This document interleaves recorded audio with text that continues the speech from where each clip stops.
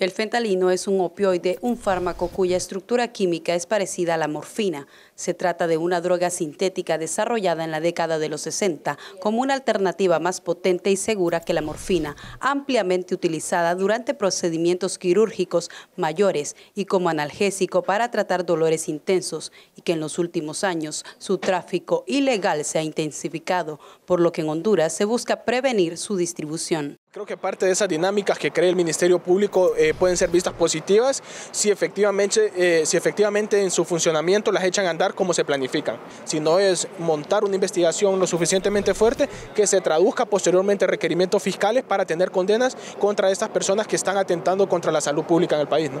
Actores de la vida pública nacional señalan que es importante que se combata este tipo de trasiego, al tiempo que mencionan la importancia de fortalecer al Ministerio Público en áreas investigativas. En el Ministerio Público hay que desparasitar ese sistema judicial porque no nos está rindiendo los frutos que esperamos. Para eh, estas dependencias que se tengan que crear sean fortalecidas y no sean más eh, elefantes blancos que se han creado dentro de las instituciones públicas.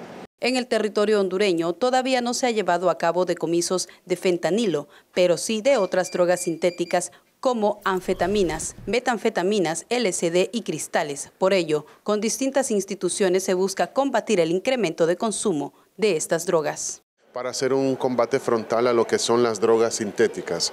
El fentanilo, digamos que es la, droga que está de moda, que está causando cualquier cantidad de muertes eh, en Estados Unidos, en Canadá, en México, y que ya se ha detectado que hay fentanilo en los países de la región como Panamá, Costa Rica, El Salvador, Guatemala, y obviamente que nosotros, por estar en esta ruta, eh, tendríamos en su momento también eh, ya fentanilo circulando en, en nuestro país.